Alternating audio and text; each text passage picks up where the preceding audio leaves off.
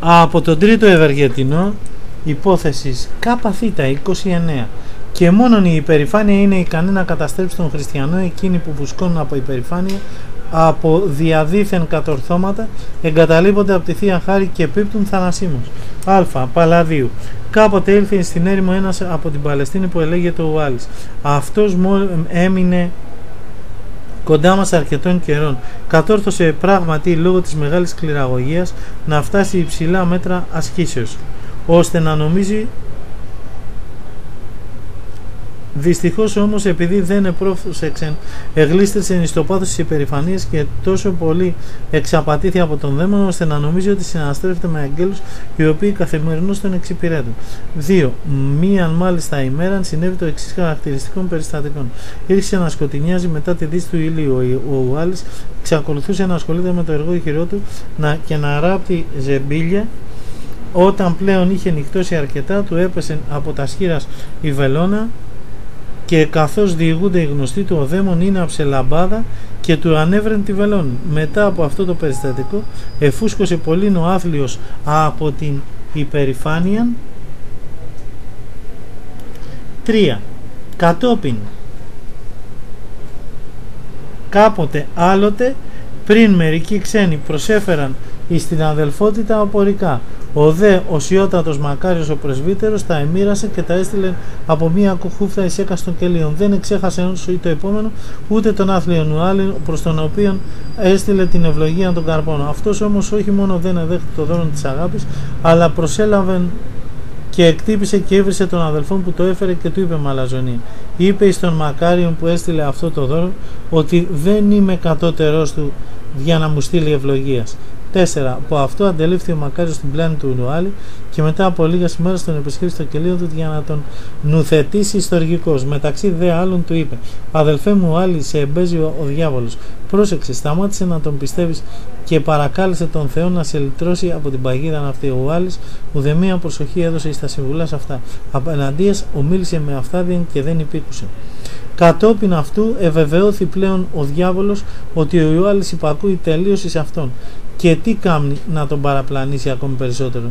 Μετασχηματίζεται ο διάβολος στον σωτήρα Χριστόν και τον επισκέπτεται τη νύχτα χρησιμοποιούν δια το τέχνασμά του την εξημένη φαντασία του εν εγωπαθούς σου άλεντος. Κατά την παραπλανητική ψασία, ο μετασχηματιστής η σωτήρα διάβολος συνοδεύεται από χιλίους λαμπαδιφόρους δαίμονας. Η μορφή του σωτήρος εσχηματίζεται μέσα εις ένα πύρινο τροχών. Ένας εκ των δαιμόνων προέτρεχε τα, τη σατανική συντροφία και του έλεγε «Ουάλι, ο Χριστός σε ηγάφησε και δια την καταρότητα του βίου σου και την θεάρεση των πολιτείαν σου ήλθε στο κελί σου να σε ειδεί. Έβγα λοιπόν από το κελί σου και αφού σταθείς από μακριά ε, θα τον ε, και τον ειδείς και μετά σκύψε και προσκύνησέ τον. 5. Πράγματι ο πλανηθής σου άλλης Εξήλθε το κελίο του και είδε τον περίεργο, την περίοδο παράταξη των λαμπεδεφόρων εξ αποστάσεως δε περίπου χιλίων μέτρων των αντίχριστων μετασχηματιστέντα ως ύπομενης στον σωτήρα. Έπεσε δε και τον προσεκίνησε. Μετά δε από τη σατανική αυτή νεοποτασία τόσο φοβερή σύγχυση υπέστη ο νους του ώστε με το λίγας ημέρας ήλθε εις τον ναόν της χήτης και η επίκον πάντων εφώναξε. Εγώ δεν έχω πλέον ανάγκη να μεταλαμβάνω εδώ διότι τα σημέρας αυτά είδουν με τους οφθαλμούς μου των Χριστών. 6. Κατόπιν αυτού τον έπιασαν οι πατέρες, τον έδεσαν με αλυσίδες και επί ένα χρόνο και άρχισαν να παρακαλούν συνεχώς τον Θεό να τον θεραπεύσει από το σατανικό αυτό πάθος. Παραλλήλως με πολλές προσβολές που έκαναν και με απραξίαν στην οποία δεν τον υπέβαλαν, του εξυφάνισαν τη φαντασία που είχε δια τον εαυτό του και τον εθεράπευσαν τελείως τα διάφορα πάθη θεραπεύονταν με τα, με τα αντιθέτους θεραπείας, όπως παραδείγματος χάρη η περηφάνεια με την καταφρόνηση και τας προσβολάς.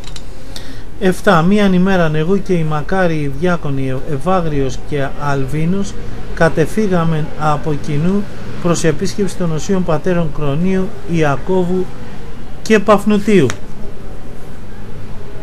προκειμένου να μάθομεν από αυτούς ποια είναι τα αίτια των παραπτωμάτων των αδελφών που εκπίπτουν από το μοναχικό τον αξίωμα και χάνουν την αξία των.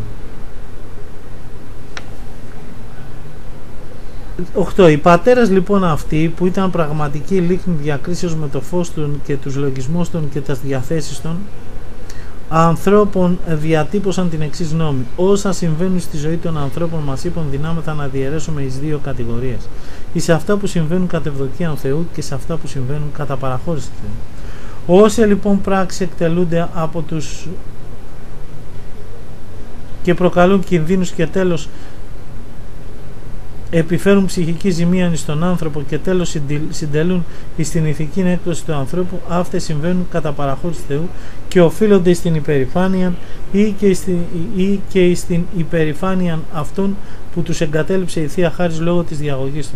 Διότι είναι αδύνατον λέγουν οι πατέρες αυτός ο οποίος φρονεί ορθώς περί την πίστη και ζει με ευσέβεια να εγκαταλευτεί από την Θεία Χάρη και να περιπέσει σφάλματα που φέρουν εντροπίνη στα δαιμονικά πλάνα. 9. Όσοι όμως επιδιώκουν να εκτελέσουν την άσκηση κατευθυνόμενη από ευτελή ελαττήρια όπως η ανθρωπαρέσκεια και ο λογισμός της επιρρηφανίας ή αποβλέπουν εις διεφθαρμένους σκοπούς, τους εγκαταλείπει ο Θεός και περιπίπτουν σφάλματα ανάλογα του αμαρτωλού των σκοπού. Το επιτρέπει δε ο Θεός αυτό για να αντιληφθούν την επικίνδυνο μεταβολή στην οποία περιέπεσαν και να διορθώσουν την αμαρτωλή πρόθεσή των ή την κακή των πράξη. Διότι ο άνθρωπος άλλοτε σφάλει κατά την πρόθεση και άλλοτε κατά την πράξη. Παραδείγματος χάρη, όταν ένας διεφθαρμένος άνθρωπος δίδει ελεημοσύνη σε μία νεωτέρα γυναίκα για να την παρασύρει στην ακολασία, τότε ο άνθρωπος αυτός αμαρτάνει κατά την πρόθεση. Απέναντίαν, όταν ένας άνθρωπος ελεεί ασθενείς ή γέροντας ή πτωχεύσαντες με αγαθή πρόσεκτεση και αγνό σκοπό, αλλά τσιγκουνεύεται εις αυτά που δίνει ή τα προσφέρει με εγωγισμό ο άνθρωπος αυτός και τι επιδιώκει καλό σκοπό ετούτης όμως ομαρτάνει κατά την πράξη διότι η ελεημοσύνη πρέπει να γίνεται αφιδο, αφιδόλευτα και με εσωτερική ευχαρίστηση.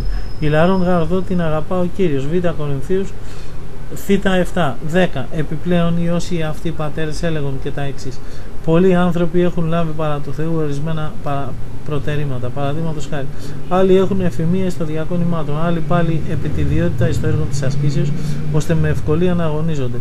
Εφόσον, ε, ε, εφόσον Όμως τα προτερήματα αυτά δεν χρησιμοποιούνται για το αγαθό ή δεν συντελούν στην εκπλήρωση ενός θείου σκοπού, τότε ούτε οι πράξεις που οφείλεται στο προτέρημα, ούτε η ευφυα με την οποία εξετελέστη η υπηρεσία ωφελούν ψυχικό στον άνθρωπο που κατέχει το προτέρημα. Απέναντίας μάλιστα τότε το προτέρημα γίνεται αιτία βλάβης.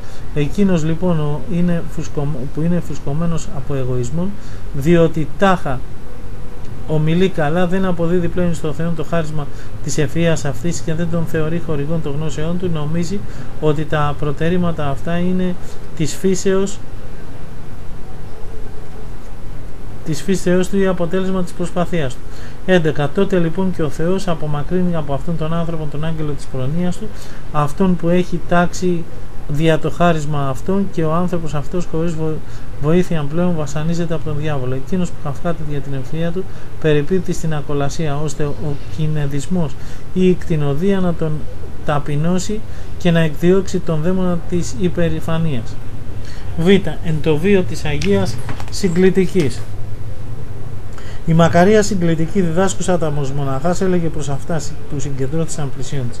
Προσέχετε διότι έκαστη από εμάς αντιμετωπίζει διπλούν φόβων.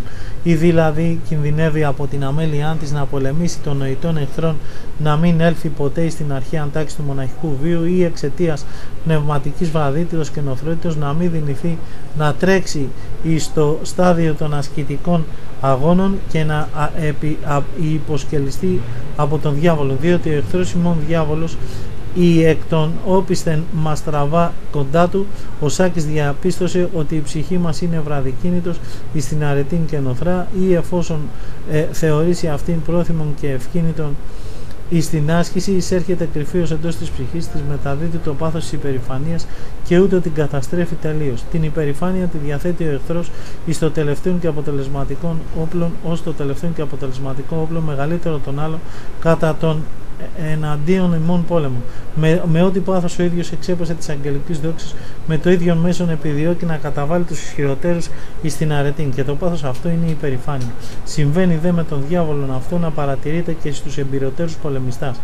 Ούτε ως γνωστόν όταν εξοδεύσουν όλα τα βέλη τότε εφόσον εξακολουθούν να νικούν οι εχθροί ως τελευταίο όπλο κατά αυτόν χρησιμοποιούν και τη φοβερά μάχηραν. Τι ούτω τρόπος ενεργεί εναντίον των εχθρών του ανθρώπου και ο διάβολος αφού εκτοξεύσει όλα τα βέλη του κατά του πολεμουμένου υπ' αυτού ανθρώπου τότε χρησιμοποιεί και την υπερηφάνεια ως ισχυρότερον ξύφος για να επιτύχει την εξόντωση του αγωνιζομένου ανθρώπου. 3. Ποια δε είναι τα πρώτα βέλη, τα πρώτα βέλη που χρησιμοποιεί εναντίον του μοναχού είναι η γαστιμαργία, η φιλιδονία, η πορνεία, δια των οποίων έχει συνηθίσει να πολεμεί τους νέους. Εάν δεν αποδώσουν τα όπλα αυτά, εάν δηλαδή δεν καταβάλει τον μοναχό, τότε χρησιμοποιεί τη φιλαργυρία, την πλεονεξία και τα όμοια με αυτά. Όταν λοιπόν και αυτά τα αντιμετωπίσει επιτυχώς με τη χάρη του Θεού ασκητής, χωρίς να τραυματιστεί, τότε ο δούλος βλέπουν ο δόλιος, ο διάβολος βλέπουν ότι δεν απέδωσαν τα προηγούμενα όπλα του, του εμπνέει πονηρό στην σκέψη ότι τάχα κάτι είναι. Τον φουσκώνει σιγά σιγά και τον κάνει να υπερηφανεύεται εναντίον των αδελφών και να τους περιφρονεί. Τον κάνει να φαντάζεται ότι δήθεν έχει κατανοήσει ούτως αυτά και οι περισσότεροι αγνοούν και ότι είναι ανώτερος των άλλων συμμοναστών του κατά τα σαγρυπνία, την νηστεία και την υπόλοιπον άσχη. Αλλά και πλήθος άλλων αδραγαθημάτων του εμπνέει και να υπολογίζει. 4. Επιπλέον καταφέρνει ο διάβολος να ξεχνά ο υπερήφανο μοναχός τα μαρτήματά του και τον υποβάλλει στην επικίνδυνο αμνησία των όσων σφάλει ώστε να μην μπορέσει να απευθύνει πλέον προς το Θεό την κατανικτική εκείνη δέησιν. Σύ μόνο ήμαρτον, ψαλμός νη 4 ελέησιον και δια της οποίας θα θεραπευθεί από τα σφάλματά του. Όπως ο δε ο διάβολος όταν αποφάσιζε την κατά του Θεού αποστασία είπε στο νου του θα ανέβω επάνω από τους αστέρας του ουρανού και θα στήσω εκεί τον χρόνο μου. Τι ούτω τρόπος εμπνέει στον υπερήφανο να φαντάζεται αρχάς πρωτοκαθεδρίας ακόμη δε ότι είναι και ικανός να ενεργεί θεραπείας επί ασθενών και να διδάσκει τους άλλους. 5. Η ψυχή λοιπόν που κατά τον τρόπο αυτόν εξαπατάται από το διαβόλου καταστρέφεται σιγά σιγά και χάνεται διότι εκτυπήθη και δυσκολοθερά με πληγή. Τι πρέπει λοιπόν εμείς να κάνουμε όταν αντιληφθούμε στην ψυχή μας την παρουσία τιού των πονηρών λογισμών πρέπει συνεχώς να μελετώμεν και να στοχαζόμεθα την σημασία των λόγων του Θεού. Εγώ είμαι σκόληξ και ουκ άνθρωπος, ψαλμός ΚΑ7, εγώ είμαι γη και σποδός, Γένεσης ΙΤΑ 27, ακόμη εκείνο που αναφέρει ο προφήτης Ισαΐας πάσα δικαιοσύνη ανθρώπου ως ράκος αποκαθημένης. Ισαΐας ξιδέλτα 6 και όλα εν γέννη τα σχετικά ρητά. 6. Αν δε η μοναχή που εδέχθη μέσα στην ψυχή της τα ψυχικοβλαβείς αυτά σκέψεις ο θέλος και ανεφνόμης της ηγουμένης θέλει να αναχωρήσει ως ασκήτρια στην έρημο να υποχρεωθεί να εισέρχεται πάλι στο κοινόβιο και να εξαναγκάζεται να τρώγει δύο-τρεις φορές την ημέρα εφόσον εκυριεύθει από το πάθος της υπερηφανίας λόγω της υπερβολικής ασκήσεως. Οι συνομήλικοί της που μονάζουν στο ίδιο κοινόβιο και την επιτιμούν και την ηρωνεύονται ότι δεν κάνουν κανένα κακό, επιπλέον δεν εκτελεί όλα στα ευτελεί υπηρεσίας της μονή. 7. Να διηγούνται επίσης εις αυτήν βίους μεγάλων Αγίων που έλαμψαν εις άσκηση και αγαθά έργα και άλλα μοναχέ του κοινοβίου να προσπαθούν να εντείνουν την άσκησή των ώστε βλέπουσα να αντιληφθεί ότι είναι κακατοτέρα από ό,τι φαντάστηκε. Καθημερινώς δε εσωφρονέστερα των άλλων μοναχών να τις λέγουν δεν είσαι φαντασμένη και υψηλοφρονής. Γιατί είσαι φαντασμένη και υψηλοφρονής; Επειδή δεν πίνεις τυχόν κρασί άλλοι λόγω αυστηράς ασκήσεως ούτε νερό δεν χορταίνουν. Μήπως επειδή νηστεύεις από έλεον και δεν τρώγεις ψημένων φαγητών Άλλοι ασκητέ ούτε ψωμί δεν τρώγουν, αλλά παρηγορούν την εκουσία πίνατον με ολίγα άγρια χόρτα. Αλλά το ότι νηστεύεις όλη την ημέρα έως αργά το βράδυ δεν είναι σπουδαίο κατόρθωμα. Άλλοι νηστεύουν συνεχώς δύο και τρεις ημέρες. Φαντάζεσαι ότι είναι μεγάλο πράγμα επειδή δεν λούζεσαι; Μη λησμονείς ότι και πολλοί που εκ των κοσμικών λόγω ασθενείας ποτέ δεν ελούστησαν. 8. Θαυμάζει τον εαυτό σου διότι κοιμάσαι εσείς μία ψάθα και επάνω εις στρώμα; Τίποτε το σπουδαίο. Άλλοι κοιμούνται κατευθείαν στο χώμα συνεχώς.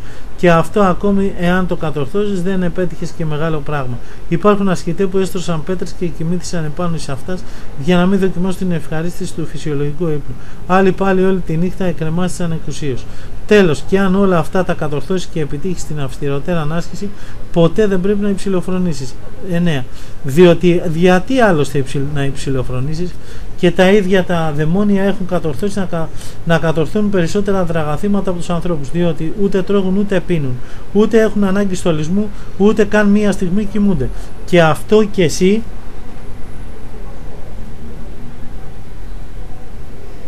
Και αν ακόμη ζήσεις στην έρημον και έχεις τη γνώμη ότι κάτι σπουδαίο κατορθώνεις, επειδή κατοικήσεις σε ένα σπήλαιο, πρόσεξε, διότι θα χάσουν την αξία των όλα αυτά εφόσον δεν κατανικήσει την υπερηφάνεια. Την υπερηφάνεια αυτή είναι δυνατόν να τη θεραπεύσει με τη χάρη του Θεού. Χρησιμοποιούσα επιτυχώς τα σανωτέρω σκέψη και πράξη. Πρέπει να τη θεραπεύσεις διότι όπως ακριβώς η φωτιά την οποία φυσόμεν όταν σκορπίσεις σβήνει, ούτω τρόπος κάνει την αξία της και η αρετή όταν εμφανιστεί η υπεροψία στην ψυχή του ανθρώπου, έστω και αν η άσκηση από την οποία προήλθε η αρετή υπήρξε σποροδοθάτη. Και όπως ακριβώς την μάχερα μπορεί επάνω στο αμόνι να τη σπάσει και να την αχρηστεύσει μία πέτρα, τι ούτω τρόπος και η πλέον εντεταμένη άσκησης χάνεται συντομότατα από την υπερηφάνεια του ασκητού. 10. Δι' αυτό πρέπει από όλα τα σημεία να περιφρουρείται η ψυχή από τη σκληρότερα άσκησης την οποία φλογίζει ο καύσον της υπερηφανίας και να τη φέρουμε εις καιρούς τόπους και εν ανάγκη να κόπτει κανείς και τα περιτά ώστε να ενισχύεται η ρίζα και να αποβαίνει ισχυρότερα γιατί για το μεγαλύτερο από όλα τα κακά, την υπερηφάνεια. Το μέγεθο τη κακές υπερηφανίας αποδεικνύεται εκ της αντιθέτου αρετής που αντιστοιχεί σε αυτήν την ταπεινοφροσύνης. Όλα στα αρετάς δύναται να τι μιμηθεί ο διάβολος, αυτήν όμως καθ' ολοκληρία δεν γνωρίζει τι είναι. Γάμα. Εν το γεροντικό. Ο Αβάσης Σίδωρος είπεν «Εάν επιθυμείτε να εκτελείτε την άσκησή σας συμφώνως με τον νόμο του Θεού, προσέχετε μην αναλαζονεύεστε όταν νηστεύετε. Εάν υπαρηφανεύεστε διότι νηστεύετε, να μην αναλαζονεύεστε τότε ποια η άσκηση της νηστείας; Είναι προτιμότερο στον άνθρωπο να τρώγει κρέας παρά όταν νηστεύει εξ αφορμής της νηστείας να κομπάζει και να υπερηφανεύεται. Οι γέροντες έλεγονται ότι αν κάποτε η νεότερο να ανεβαίνει στον ουρανό, χωρίς όμως να υπακούει στον γέροντα, αλλά μόνο στο θέλημά του, τότε κράτησέ τον από το πόδι και ρίξε τον κάτω. Αυτό τον συμφέρει καλύτερα. Τρία. Κάποτε τρεις αδελφοί επεσκέφθησαν ένα γέροντα στην, στην σκήτη του απροσοφέλεια. Ο εις εξ αυτών του είπε «Αβά, έμαθα απ' έξω όλη την παλαιά και καινή διαθήκη. Εγέμισες με τον αέρα με λόγια», απίτησε ο γέρο. Με τη σειρά του ο δεύτερος του λέγει «Εγώ αβά αντέγραψα την παλαιά και την καινή διαθήκη για να την έχω πάντοτε μαζί μου». Και εσύ απίτησε ο γέρον γέμισες με χαρτιά το σιρτάρι των ντουλαπιών. Όταν ήρθε η σειρά του Τίτου είπε στον Αβά Εις το τζάκι μου αβά εφήτρωσαν χόρτα και εσύ το απέντησεν εξεδίωξες από το κελί σου την φιλοξενία. 4. Ένας γέρον ασκητής διηγήθη την εξής ιστορία. Κάποτε είχαν γείτονα έναν άλλο γέροντα, αυτού λοιπόν τον γέροντα επεσκέφθη μία ημέρα μία παρθένος και του είπε «Πάτερ μου, ενίστευσα μέχρι σήμερα 200 Κυριακάς ανά εξ εξ μαζί Ανέγνωσα και απεστήθησα ολόκληρη την παλαιά και καινή διαθήκη. Θέλω να μου πεις τώρα εις τι υστερώ ακόμη ώστε να εργαστώ για την αναπλήρωσή του και ο γέρο με τη σειρά του την, την ερώτηση. Και τι κέρδισες από όλα αυτά, έφτασες στο σημείο να θεωρείς και, ε, και τα κατά σου προσβολάς ως τιμήν σου; Όχι, απήντησε η ασκήτρια. Έφτασε στο σημείο να θεωρεί τη ζημία ως κέρδος, τους ξένους ως κατασάρκα συγγενή σου, την παινία ως πλησμοσύνη. Καθόλου, απάντησε πάλι η ασκήτρια. Λοιπόν, δεν ενίστεψα σαν να έξι-έξ, ούτε ανέγνωσα στην παλαιά και καινή διαθήκη. Τίποτα δεν ωφελήθησα από όλα αυτά. Τον εαυτό σου μόνο εμπέζεις. Πήγαινε να εργαστείς, τίποτα δεν κατόρθωσες. 5. Έζει κάποτε στη Θηδουαίδα ένας μοναχός. Ούτως η δινήθη να φτάσει εις μέτρα τελειότητος ασκήσεως και ζωής, συνεχώς η γρύπνη και η προσήφια του, ή το τελείως ακτίνουν και η νηστεία του, ή το τόσο αυστηρά ώστε μόνο μία φορά την εβδομάδα προς την εσπέρα της Κυριακής έτρωγε ο λίγων μερικά όσπρια ή και άγρια του βουνού χόρτα μόνο και μόνο για να ικανοποιεί την αδυναμία της φύσης. Δια του τρόπου αυτού έζησε επί πολλά έτη. Έκτον, αυτόν λοιπόν τον ασκητήν ευθόνησε δια την αρετή του ο εφευρέτης της κακίας διάβολος. Δια αυτό και έσφερσε να τον νικήσει και να το ρίψει στην αμαρτία για της υπερηφανίας με την οποία και αυτός εξέπεσε.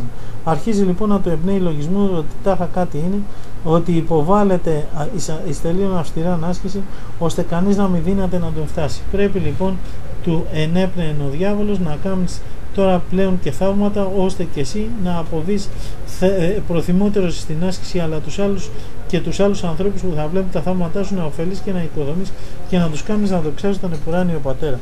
Ας ζητήσουμε λοιπόν από το Θεό τη δύναμη να ενεργούμε θαύματα διότι ο ίδιος ο Σωτήρ είχε πει Ετείτε και δοθήσετε. Μαθαίου ζήτα 7. Ο ασκητή ήκουσε λοιπόν τη συμβουλή αυτή του διαβόλου και ήρθε να παρακαλεί με την υπομονή στο Θεό. 7. Ο φιλάνθρωπο Θεός, ο πάντας ανθρώπου θέλει σωθεί, Α Τιμοθέου Β4, βλέπουν την πλάνη του ασκητού, επέτρεψε να νικηθεί από τον πονηρόν διάβολο. Ούτω κατέπνευση του Θεού εσκέφθη το αποστολικό λόγιο. Ουχή, ουχ, ότι ικανίες μεν εφ' αυτόν λογίζεστε. Β Κορινθίους Γ 5. Εν συνεχεία δε διαλογίστη, εάν ένας τόσο μέγας και Άγιος Απόστολον είπε ότι είμαι ικανός μόνος μου να σκεφτώ τίποτε, τόσο, πόσο μάλλον εγώ έχω ανάγκη διδασκαλίας και συμβουλής. Θα μεταβώ λοιπόν προς εκείνον τον γνωστό αναχωρητή, αυτά δε που θα μου είπε και θα μου συμβουλέψει, θα δεχτώ ως οδηγίας και που μου οδήγησε ο Θεός για τη σωτηρία μου. 8. Αυτός δε ο Αβάς προς τον οποίο αποφάσισε να μεταβεί, είχε μεγάλη αρετή και φήμη, είχε εμβαθύνει στην θεωρία και ήταν ικανός να ωφελήσει αυτούς που τον επλησίαζαν. Εξήλθε λοιπόν από το κελί του, μετέβη σε εκείνον τον περίφημο αναχωρητή. Ενώ εισήρχε το στο κελί του αναχωρητού, βλέπει εκείνος ένα φοβερό θέμα. Βλέπει δύο πυθίκους να κάθονται στου ώμους του ασκητού, έναν από τα δεξιά και έναν από τα αριστερά και να του έχουν δέσει με αλυσίδα στο λαιμό και να τον τραβούν με αυτά ο καθένας προς το μέρος του. Μόλις ο προορατικός αυτός γέρον είδε, το ή τους είδε να αντελήφθη αμέσως ότι ο ένας είναι ο δαίμον της κοινοδοσία και ο άλλος υπερηφανίας. Στην διάκριση αυτή των πνευμάτων και των λογισμών ο γέρον είχε διδαχθεί υπό του Θεού. Εξαιτίας του απεσίου αυτού θεάματος ο προορατικός αναχωριστής αναστέναξε και δάκρυσε σιωπηλός. Μετά την καθιερωμένη λοιπόν ευχή και τον εν Χριστώ ασπασμών της ειρήνης, εκάθισαν επί μίαν ώρα ο ένας απέναντι του άλλου, χωρίς να συνομιλούν μεταξύ τους. Αυτή η συνέφεια επικράτη μεταξύ εκείνων των πατέρων. 9. Ο Φέληξ εν ο μίλησε πρώτον ο επισκέπτης και είπε: Πάτερ, ωφέλησέ με και συμβούλευσέ με πώς να σωθώ. Τέκνον μου, δεν είμαι ικανός απίτησε ο γέρον. Δια αυτό που μου ζητείς, διότι και εγώ έχω ανάγκη από άνθρωπον που θα με οδηγήσει από την χείρα να σωθώ. Μη αποφεύγεις κύριε Αβά μου να με ωφελήσεις, επανέλαβε ο επισκέπτης, διότι η ψυχή μου με έχει πληροφορήσει ότι από σε πρέπει να αναμένω την απαραίτητη συμβουλή. Γι' αυτό έθεσα ισόρρον τον, εις τον εαυτό μου να δεχτώ τη συμβουλή σου προς τον σκοπό αυτόν. Ήρθα να σε επισκεφτώ. Δεν πρόκειται να με ακούσει σε ό,τι θα σου υπώ αν ε, ε, εντέτεινε πάλι ο γέρον και δι' αυτός σιωπώ. Σε διαβεβαιώ ότι θα σε ακούσω ως άγγελον επέμενον ο επισκέπτης. 10. Ιδών την επιμονή αυτή ο γέρον λέγει. Τότε άκουσε τι θα κάνεις. Πάρε αυτό το σακουλάκι με τα χρήματα και πήγαινε στην πόλη. Με τα χρήματα αυτά θα αγοράσεις 10 άρτους, 10 ξέστας ξύδι και 10 λίτρας κρέας. Αφού δεν τα αγοράζεις, θα τα φέρεις εδώ. Μόλις άκουσε την εντολή αυτή ο επισκέπτης, ελπίδη πάρα πολύ. Εδέχτη όμως έδωσε, επειδή όμως έδωσε το λόγο του, επειδή εδέχτη την εντολή και ανεχώρησε για την πόλη. Καθοδόν απεισχολείται με διαφόρους σκέψεις και μη δυνάμενος να εξηγήσει γιατί τον διέταξε αυτό το πράγμα, έλεγε καθέ αυτόν πλήρης απορίας. Γιατί να αποφασίσει ένα τέτοιο πράγμα γέρο, πώς του ήλθεν και πώς να τα αγοράσω αυτά τα πράγματα, θα σκανδαλιστούν εξαιτίας μου οι κοσμικοί όταν θα τα αγοράσω και θα τα μεταφέρω. 11. Με την ελεημοσύνη, με, τα, με, κλάματα και κατατροπιασμένος έφτασε επιτέλους στην πόλη. Ήρθε δε να προμηθεύεται τα είδη διάλων προσώπων. Με άλλον ηγόρασε τον Άρτον και με άλλον τον Ήλον. Όταν ήλθε και η σειρά του να αγοράσει το κρέας, εστεναχωρείται υπερβολικά και αιμονολόγει. Άλλοι μόνο είσαι με τον άθλιο, πώς να αγοράσω κρέας; Ή ο ίδιος ή δια άλλου τεινός. Επιτέλους έβρε κάποιον κοσμικών στον οποίο έδωσε τα χρήματα και του αγόρασε κρέας. 12. Αφού είναι και ντροσέ, τα ίδια αυτά ο μοναχός επέστρεψε στο διακριτικό γέροντα στον οποίο του τα παρέδωσε. Ενθυμίσει ότι μου έδωσε το λόγο σου ότι θα, τα εκτε... θα εκτελέσεις αυτό που θα σου είπω. Τον ρώτησε ο γέρο. Μάλιστα, ενθυμούμε. Πάρε λοιπόν τα ίδια αυτά και πήγαινε στο κελί σου. Αφού δεν επαναλαμβάνεις την ευχή να τρώγεις κάθε ημέρα έναν άρτον, έναν ξέστην ίνων και μία λίτρα κρέατος. Μετά δε από 10 ημέρας Όταν θα τα έχεις φάγει, να έλθει πάλι κοντά μου. 13. Περί πω ήκουσε την εντολή να αυτήν ο ασκητής. Τι να κάνει όμως, είχε δώσει τον λόγο του. Γι' αυτό, χωρίς να τολμά να φέρει αντίρρηση, επήρε τα τρόφιμα και έφυγε στεναχωρημένος και κλαίων καθοδόν έλεγε μόνος του «Αλίμονον, ύστερα από τόσο αυστηρά νηστεία που, κα, που κατήντησα, να εκτελέσω την εντολή ή όχι. Εάν όμως δεν εκτελέσω την εντολή, θα παρακούσω τον ίδιο το Θεό, διότι έθεσα όρον στον εαυτό μου, ότι μου πει ο γέρο να το θεωρήσω ως θέλημα Θεού. Ω Θεέ μου, είδε με εσπλαχνίαν την αθλειότητά μου. Ελέησό με και συγχώρησαν τι αμαρτίε μου, ειδού αναγκάζομαι να κάνω κάτι αντίθετο με την πρόθεση που είχα να εγκρατεύομαι. 14. Με ειλικρινή δε συντριβήν και με βαθύτατον πένθος ήλθε στο κελί του. Όπως δε του είπε ο γέρον ενήργησε. Όταν επρόκειτο να φάγει τα είδη του, του, κανό, του κανόνος έβρεχε με δάκρυα τα στροφάς και έλεγε «Θεέ μου, γιατί με εγκατέλειψες, με πόνο δε και με δάκρυα αναστενάζουν και θλιβόμενος επέρασε τας δέκα ημέρας του κανόνος του, σκεπτόμενος μήπως πλέον είναι ανάξιος και του μοναχικού σχήματος που, που έφερε. 15. Ο Θεός εκτιμήσα στην ταπεινωσή του τον παρηγόρησε και τον κατέστησε ικανό να αντιληφθεί διότι έφτασε σε αυτό το σημείο της αδιαφορίας όπως ο ίδιος χαρακτήριζε την κατάστασή του. Δι' αυτό ευχαρίστησε τον φιλάνθρωπο Θεό και έλεγε μόνος του. Πράγματι, πάσα δικαιοσύνη ανθρώπου ράκος αποκαθημένη. Και, με, και το άλλο. Εάν μη κύριος οικοδομήσει οίκον εις μάτιν εκοπίασαν οικοδομούντες.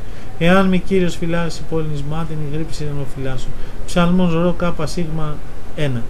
Το σάφτι δεν υπήρξε η συντριβή του, ώστε μετά τας 10 ημέρας επανέρχεται προς το γέροντα με περισσότερον εξεντλημένο το σώμα του παρόσον όταν παρέμεινε επί εβδομάδας νηστικός 16 μόλις τον είδε ο προορατικός γέρον να έχει ταπεινωθεί τόσο πολύ και να έχουν αποχωρήσει η πίθηκη που εκάθιτο εις τους ώμους του, εχάρη πάρα πολύ και τον υπεδέχθη με υπερβολική ευχαρίστηση.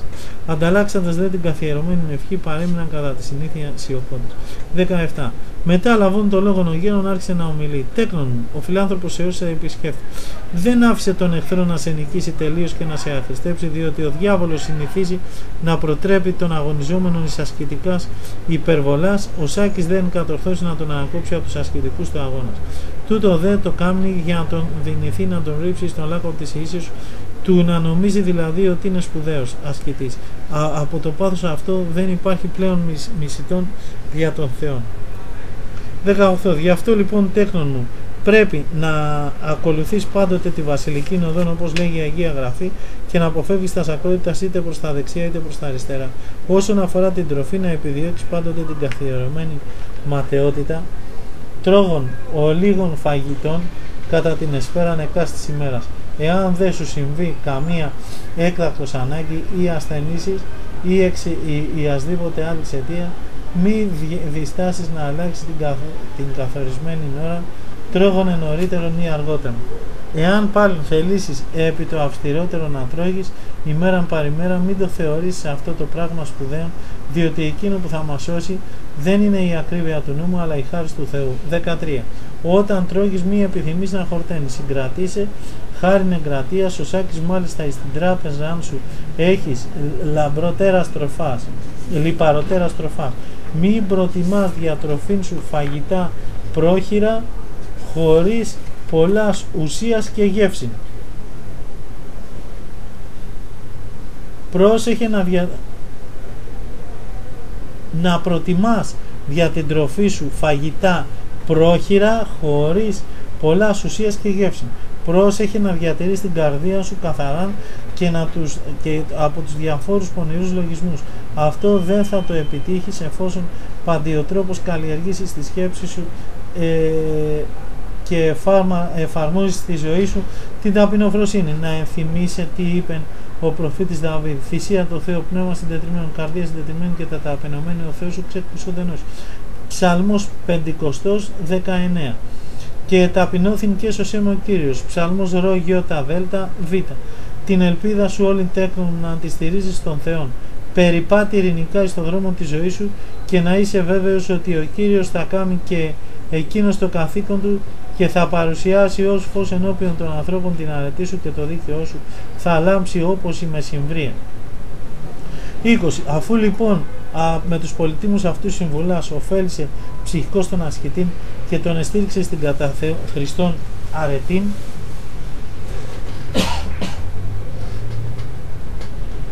Έφαγον με ευχαρίστηση από τα ευρεθέντα στην καλύβη του γέροντος και τον άφησε να φύγει δια το κελί του χέροντα και ευχαριστούντα τον Κύριο.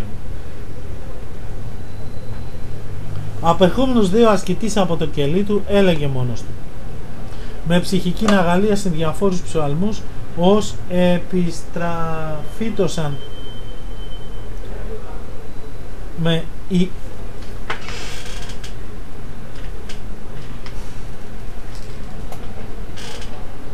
επιστραφεί το σαν με.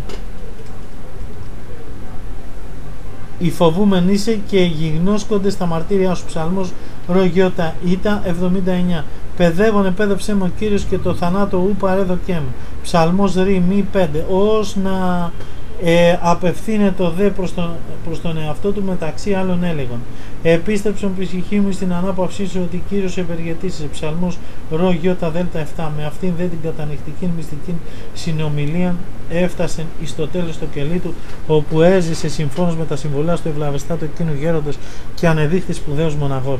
21. Ένας αδελφός παρέμεινε μονάζον έξω από το χωρίο του επί πολλά έτη. Καθόλου αυτό το διάστημα μίαν ημέρα δεν επήγε στην πόλη καυχόμενος δε κάπως δια το κατόρθωμά του αυτό έλεγε στους άλλους μοναχούς είδατε έχω τόσα χρόνια στην θέση αυτή και δεν επήγα καθόλου στο χωρίο ενώ εσείς έστω και δια μία φορά πηγαίνετε κάποτε συνείδησε και τον Αβά μένα και του επανέλαβε το κατόρθωμά του. Η απάντηση ο Αβάς Πιμήν του είπε «Εγώ τη νύχτα εγύριζα το χωρίο χωρίς να μπαίνω μέσα για να μην ευρίσκει αφορμή ο λογισμός σου, ο λογισμός μου να με επενεί ότι τάχα είχα τόση αυτοκυριαρχία ώστε να μην ανέβω έως το χωριό. 22. Ένας γέρον αναχωρητής επί έτη επλανάτο εις την έρημον. Έλεγε δε μόνος του, κατόρθωσα τα σαρετάς που επιβάλλονται στη μοναχική ζωή. Κατά την προσευχή του παρε, παρεκάλει τον Θεόν. Θεέ μου, δείξε μου εάν σε κάτι υστερώ και δεν το κατόρθωσα, σου υπόσχομαι ότι θα το κάνω. Ο Θεός θέλω να τον ταπεινώσει για να μην περιπέσει στο αμάρτημα του εγωισμού του απεκάλυψη. Πήγαινε σε εκείνο τον αρχιεμανδρίτη να κάνεις αυτό που θα σου, θα σου είπε. Συγχρόνως απέστειλε έναν άγγελο στον Αρχιμανδρίτη και του μετέδωσε την εξής εντολή. Εντός λίγο θα σε επισκεφτεί ο τάδε αναχωρητής να σε ρωτήσει. Θα του είπε λοιπόν να πάρει ένα φραγγέλιο και να βόσκει χείρους. 23. Πράγματι, εντός λίγο κατέφτασε ο αναχωρητής και αφού αντίλαξαν τον καθιερωμένο αδελφικών ασπασμών, εκάθισε. Αμέσως ρωτά ο αναχωρητής τον Ανθιμάντριδο. Είπε μου, τι να κάνω για να σωθώ; Ό,τι και να σου είπω θα το εκτελέσεις; Μάλιστα, απέτησε ο αναχωρητής. Λοιπόν, πάρε το φραγγέλιον και πήγαινε να βόσκεις χείρους. Αμέσως ο Αρχιμανδρίτης προθύμως εξετέλεσε την εντολή του Αρχιμανδρίτου, ο αναχωρητής εξετέλεσε την εντολή του Αρχιμανδρίτου και μετέβη να βόσχει χείρους. Αυτοί λοιπόν που τον έβλεπαν να βόσχει χείρους εξεπλήττονται και έλεγαν μεταξύ των. Βλέπετε το μέγαν αναχωρητή. Εσάλευσε ο νους του, έχει δαιμόνιο και κατήτησε να βόσχει χείρους. Αυτός όμως ο αναχωρητής ήκουε αταράχο και χωρίς να λυπείται τους ονειδιστικούς αυτούς λόγους. Βλέπουν λοιπόν ο Θεός την ταπείνωσή του και ότι με μεγαλοψυχία υπέμεινε τους εξευτελισμού των ανθρώπων, τον απέλησε από την δοκιμασία αυτή και επανήλθε πάλι στον τόπο του. 24. Ένας αδελφός ρώτησε ένα γέροντα. Τι να κάνω, με στεναχωρούν λογισμοί υπερηφανίας. Καλά κάμνη, απήντησε ελεγκτικός ο γέρον. Σύ βεβαίως εδημιούργησες τον ουρανό και την γη. Με την απάντηση αυτή συνήλθε ο αδελφός, αντελήφθη την αθλειότητά του, έβαλε μετά στο γέροντα και είπε: Συγχώρεσέ με, τίποτα από αυτό δεν έκανα εγώ. Όλα τα δημιούργησε μόνο ο Θεός. Εάν λοιπόν ο δημιουργός όλων αυτών ήλθε με άσημον σχήμα και ήτο ταπεινόφρον, ο ασήμαντος πυλός, διατί είσαι κενόδοξος εσύ, ποιον το έργο σου άθλιε για το οποίο θέλεις να καυχάσει. 25. Ένας γέρον ασκητή αναφερόμενος στη ζωή του έλεγε: Και όσα έπραξα, όσα εδινήθη να αντιληφθώ, τι ήσαν κατά την ηθική των αξία δεν τα έκρινα ως ορθά. Δεν τα επανέλαβα, όσα πάλι νήσαν σπουδαία και αξιόλογα και τα κατόρθωσα ουδέ καν τα εσκέφτην μετά για να μην περιπέσω σε αυταρέσκειαν και υπερηφάνεια. Τι ούτω τρόπος επορευόμην εις των βίων και τα μένω πίσω επιλανθανόμενος τες δε έμπροσθεν Επεκτηνόμενος Φιλιππισίων Γ 14 26 Ένας αδελφός επολεμείται από απολογισμό αυταρεσκίες φανταζόμενος ότι κατά δίθεν ότι κάτι δίθεν επέτυχε. Του λέγει δε ο λογισμός με ικανοποίηση. Η ψυχή μου κατόρθωσε να πραγματοποιήσει τα επιβαλλομένας αρετάς του μοναχικού βίου. Θέλουν δε να κατανικήσει τον επικίνδυνο αυτών λογισμών, προέβαινε στην εξής επώδυνον άσκηση. Όταν άναβε το καζάνι διαφαγητών ή για άλλη εργασία, έφερε τη χείρα του πλησίον της φωτιάς. Αισθανόμενος δε τον πόνο του εγκάβματος ή υποπτευόμενος τούτον, έλεγε επιτιμούν τον εαυτό του. Λοιπόν, και εσέ, μη ψηλοφρονείς πλέον.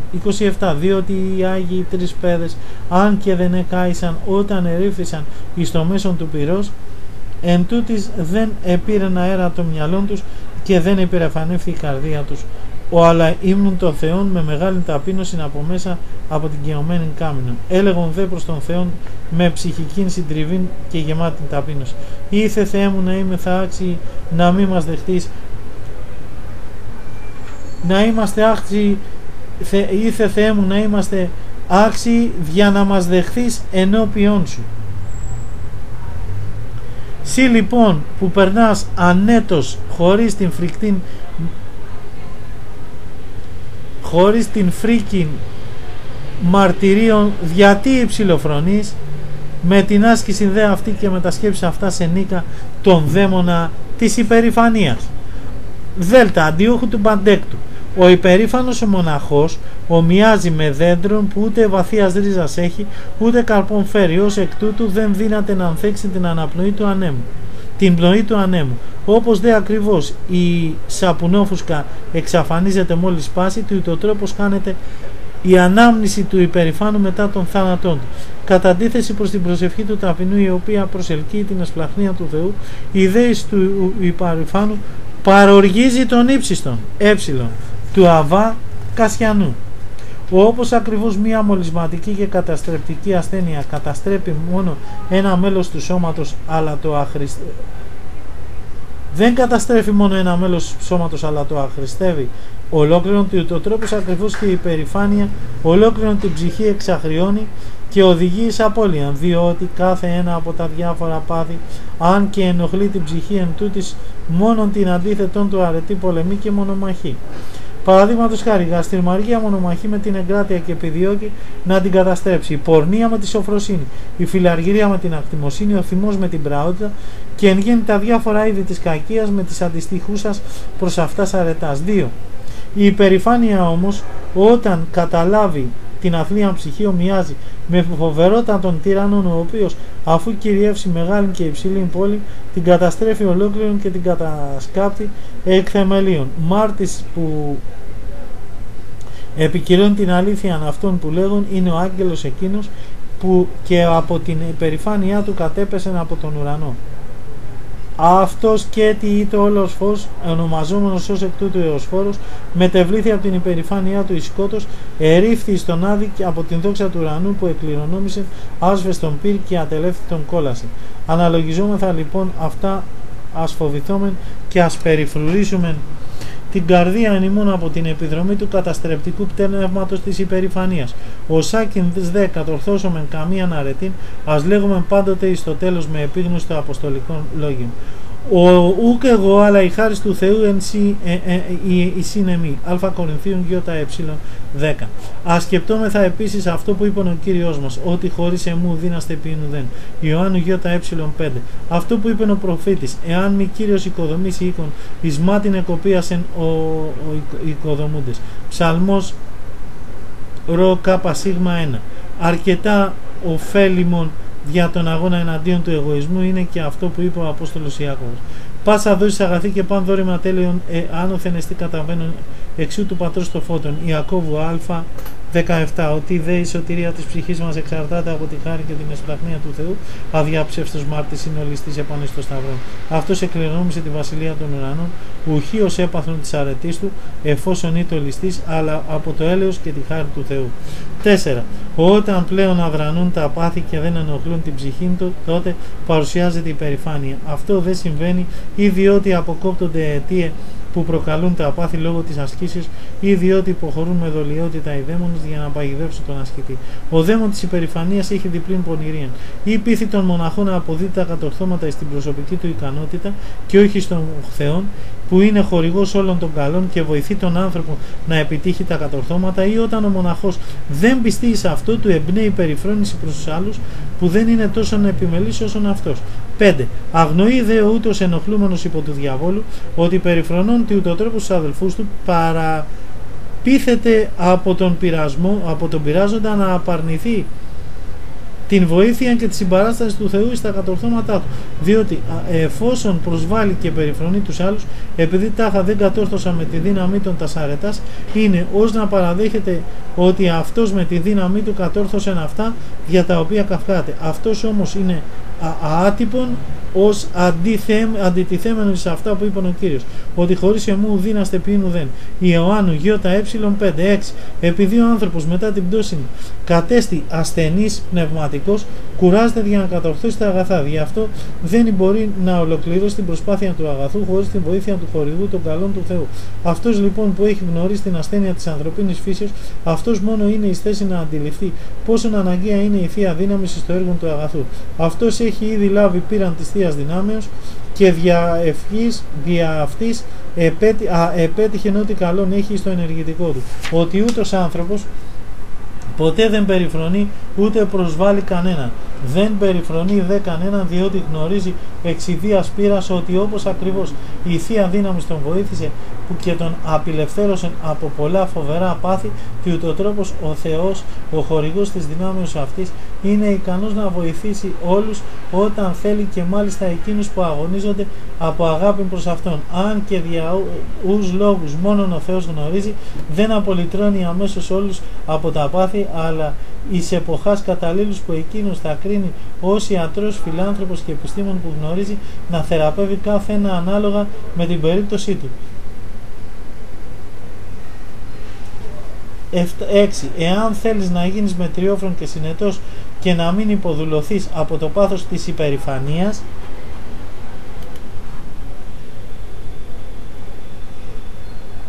πάντοτε να ερευνάς τα βάθη των όντων για να τα μαθαίνεις, να μαθαίνεις αυτά που δεν γνωρίζεις το τρόπο θα ανακαλύψεις πάρα πολλά από όσα μέχρι τώρα αγνοούσες θα θαυμάσεις την αμάθειά σου και την ωφέλειά σου και όσοι είναι φυσικό θα ταπεινωθείς θα ταπεινώσεις το φρόνημά σου. Αφού δε πραγματικώ καταλάβεις τον εαυτό σου, πόσα αγνοείς και εις πόσα υστερείς, ασφαλώς τότε πολλά από τα σπουδαία αξιοθαύμαστα πράγματα θα γνωρίσεις. Μη λησμονήσεις ότι το να νομίζεις ότι τα γνωρίζεις όλα δεν σε αφήνει ποτέ να προκόψεις εις την γνώση.